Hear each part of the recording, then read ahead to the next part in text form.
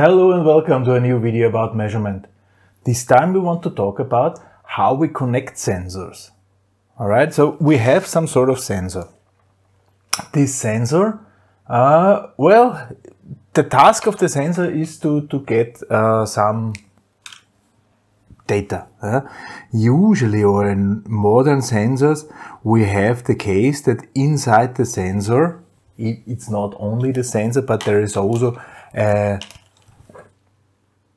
the amplifier already built in and the output of the sensor is already some impressed signal 4 to 20 milliamps or something like that. Uh, but I will show it now with a sensor and an amplifier. Uh,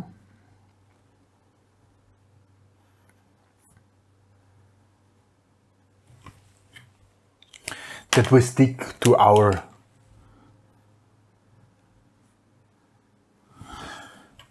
to our way, let's call it. Uh, so here we said there is a sensor signal coming uh, and the amplifier might power supply the sensor as well. This was what we what we usually discussed. So what is now, what are the possibilities? Well, one possibility is indeed looking like that. We have somewhere the sensor device, uh, somewhere the other device, I call it now the other device.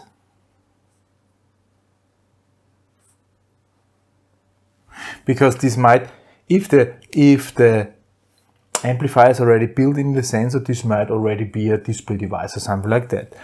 It's pretty much the same. Yeah. We have two possibilities. As we have, we have indeed looking like that. We have here one connector, here second connector, here we have one connector and here second connector. Then we have two wires. Hmm? One of these wires is plus, one of these wires is minus. This is the power supply. And where is the signal now? Where is the signal? Where is the signal? Well, the signal is the strength. For instance, power supply is 24 volts, or usually there's a range from 13 to 36 or something like that. Yeah, very usual. And the, the, the signal is the current. Huh? So here we could have current signal. Huh? This thing is called a two-wire connection.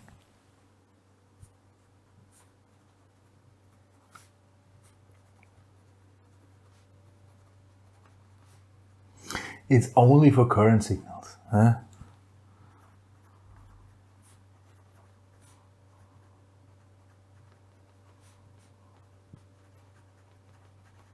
Because if we have here the power supply, the power supply will not change, right? So the only thing you can imagine the sensor is somehow choking the, the current, right? And the current is measured here and is displayed. Two-wire connection. Usually it's also with leaving zero, so usually it's a 4 to 20 milliamp signal because this sensor usually needs some power on its own, so we use the first 4 milliamps for powering the sensor. Good, so two-wire connection. What else would be possible? Another possibility is three-wire connection.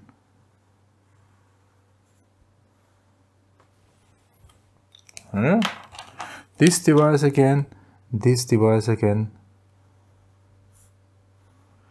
And since the name already suggests it, we have three wires. So we have three ports here, also here three ports.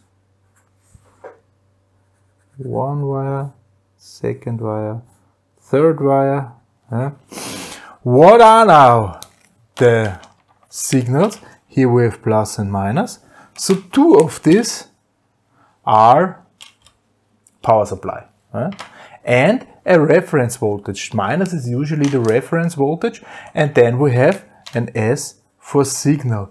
Here the signal is displayed. This might be now a current signal. Then there is a current. between those two. This is the common common minus, common ground for signal and plus, or this might also be a voltage signal. This thing is here is called three wire connection.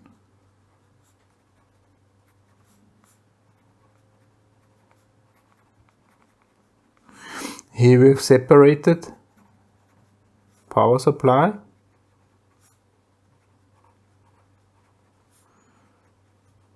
and signal line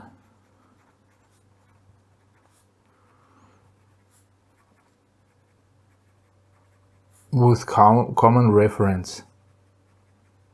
So 0 volt the minus is for both the same.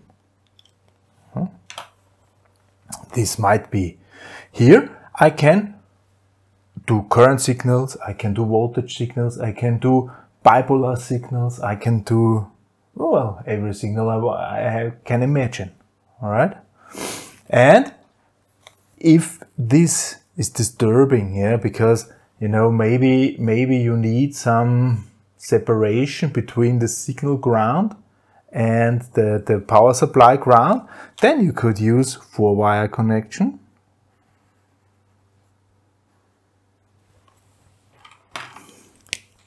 This device, measurement device, the other device. And four wire connection like the name suggests, four ports one, two, three, four.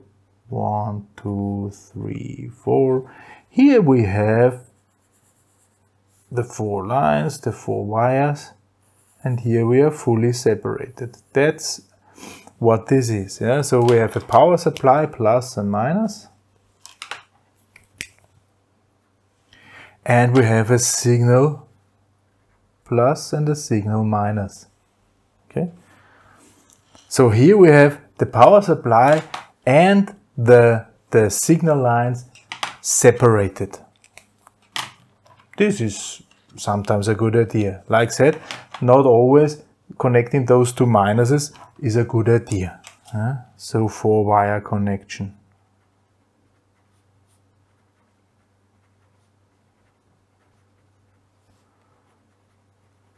Fully separated power supply and signal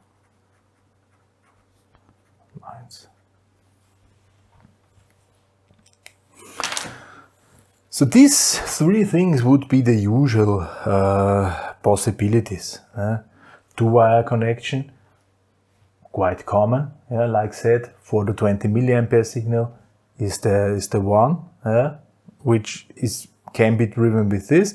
With these, I can drive whatever we want. Yeah, so we can also use bipolars, voltage minus 10 to 10 volts, 0 to 10 volts, 2 to 10 volts, this usual, or current, yeah, minus 20 to plus 20 milliamps, and so on. Yeah? So here I'm more free my choice. Huh? And here I've even separated the minuses. Yeah, so that's that's the sensor connection. Okay. Next uh, time we are going to talk about display devices. Huh? Different different display devices. So yeah Next video we're talking about analog displays and digital displays. What is the difference? What are the benefits and so on? Is one ancient and one modern? We will see. Yeah. So next time display devices this time. Thank you very much for listening. Goodbye.